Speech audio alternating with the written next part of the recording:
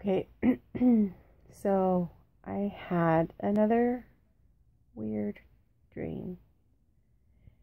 So basically, I'm in this city, this hustling and bustling city, and I don't know if I'm, I don't want to say character, but I think I was looking at at it from the outside, from the outside looking in.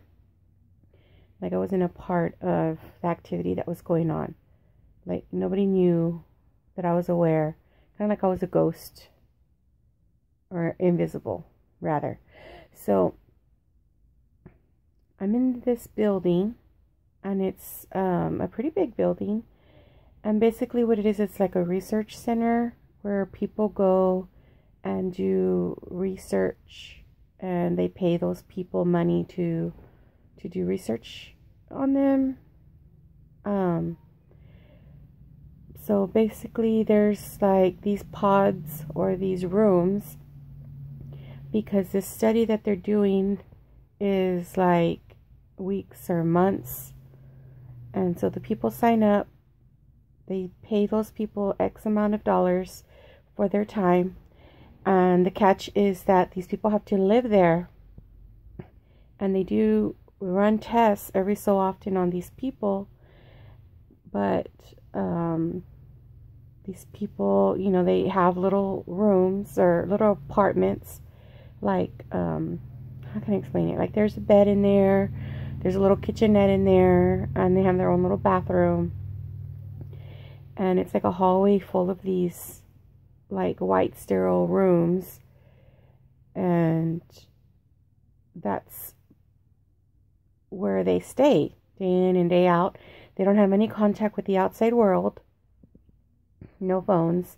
They do have like balconies. All of them have balconies because this building is situated like in a not a skyscraper but it's like a pretty high building. It's a self-standing building but it's really high. Like 20, 30 stories above ground, above the city.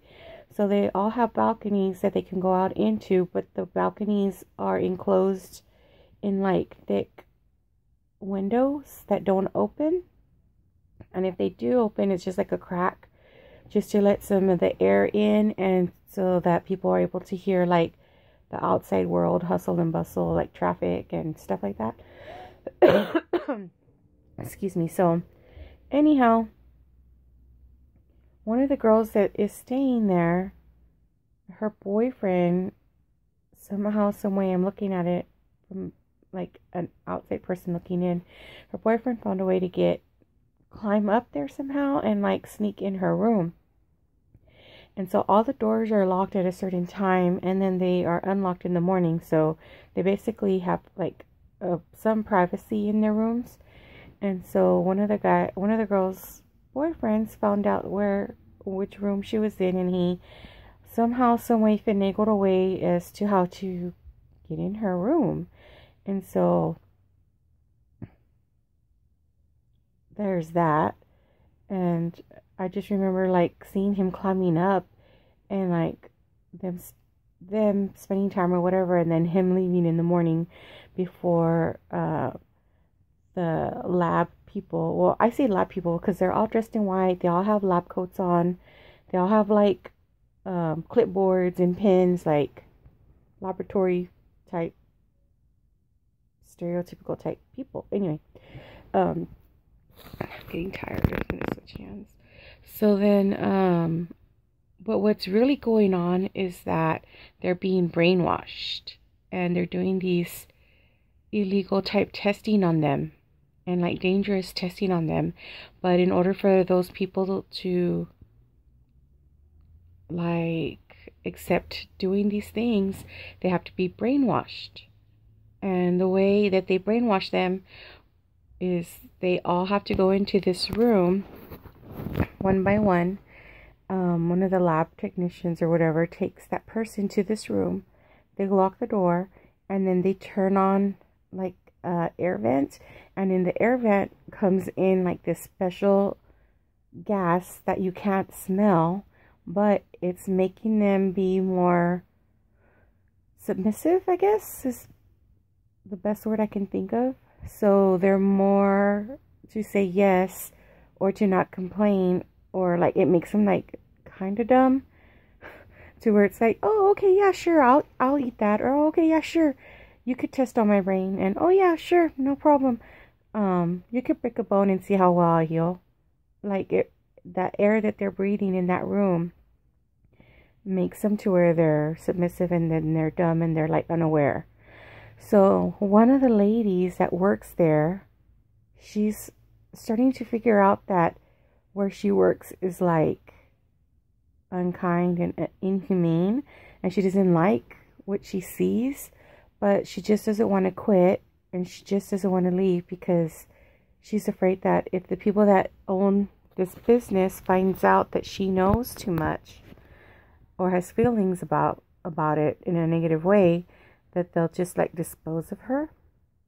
So in order for her to like help the people that are in the research she tries to tell them like just just please listen to me don't say a word or you know they'll kill her or something. Um, and so whenever she's in charge of taking the patients or the people one by one into this room and so what she does is she tells them for some reason she tells them to count um, just take off their shoe and to count like how many holes there are on the shoelaces on one side. So she counts the girl which I remember she's like blonde hair blue eye patient she counts it she's like one two three four five six seven eight so the laboratory person goes okay so there's eight shoelace holes on the side of your shoe whenever you see me nod to you through the window, because this room is full of, it's all glass. So you could, they're on the other side of the glass and they could see them.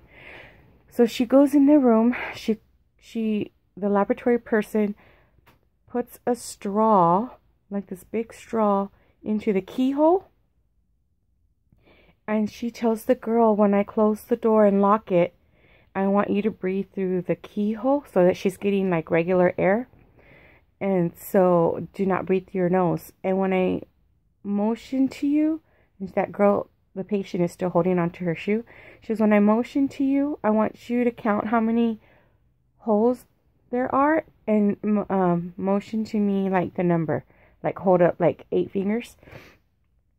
So the girl's like, okay. So then they put the patient into that room. the lab person closes the door, locks it. She flips the switch and this gas starts filling up the room and it's invisible and you can't see it, you can't smell it. There's no scent to it. And so the girl that's inside, the patient, she puts her mouth on the straw and she starts breathing through the straw and the straw is through the keyhole. And the reason for that is so that she breathes regular air from the hallway instead of breathing in the air that's in the room. And every patient has to do that for like, I don't know, 15, 20 minutes. And that's what keeps them submissive. But the laboratory person wants all the patients to start being aware and not being dumb and not being submissive so they can like formulate their opinion about the place being that it's bad and that they're making them do bad things. Every time they have to do something bad, they have to sign that they're fine with doing that test. So anyhow, so she flips the switch and the room starts filling up with this gas and that girl's breathing through the straw that's connected to the keyhole so she could breathe regular air. And then like after five minutes, the laboratory technician looks at her watch and she mouths to her how many keyholes. And so she's holding the shoe, still breathing through the straw, and she counts it and then she puts up eight fingers. And so the laboratory technician's like, okay, good. So like five minutes passes by and then she motions to her again to count how many holes are in the keyhole. I mean, how many holes are in the shoe. Like how many shoelace holes there are. And so she's counting it and she's getting confused and she puts up like six fingers. so the technician knows like, oh my goodness, like that air is, that gas is getting to her because she can't even concentrate. So then she's like, breathe through the straw, not through your nose, right? And so the girl's like, okay, okay, you know, nodding. So she's just breathing, breathing, breathing because the door will not unlock until after the time is up, like 15 minutes. So finally, the door unlocks and she opens the door and she brings the girl out and closes the door. And the girl's like, like trying to breathe because it's hard to breathe for 15 minutes through a straw. Like you feel like you're not getting enough oxygen in your brain. anyway, so then they close the door and then she's like, oh my God, I feel so much smarter. Like, every time I come out of here, I feel so like lazy and weak, and I just want to take a nap, and I just want to take it easy. I don't have any energy. She goes, I, for once, have come out of this room feeling like I have energy and I'm well aware of my surroundings. And the technician is like, please be very careful. We need to, I need to figure out a plan on how to get everybody out of here because what they're doing is inhumane and they're testing on you guys and giving you chemicals that can do like long-term damage to your brains. And then I woke up. so I don't know where the heck I got this dream. Like, I don't know why I dreamt it. I don't know how my brain. I mean, it was like a movie. Like I was watching a movie in my brain in my sleep. Like all these pods that are rooms, all these people that are in this research that have signed up and agreed to this research and have gotten paid for it, they're being brainwashed. The laboratory person, one of them is like figuring out how it's not right, but she's afraid to speak up because she feels that these people are very powerful and that they could kill her off. So, in order to help, she's helping them to where they don't have to be submissive and they don't sign. And somehow, some way, they're going to figure out how to escape. But I woke up, so I don't know how it ends. But isn't that strange? Like, my brain thought of that. like a straw in the keyhole to breathe air from the hallway instead of breathing air from the room. Like, crazy. Anyhow, that was my dream. Just thought I'd share it. And um, if you like the video, if you like me, give it a thumbs up, subscribe, click the notification bell. Um, and yeah, we'll see what happens next. Okay, bye.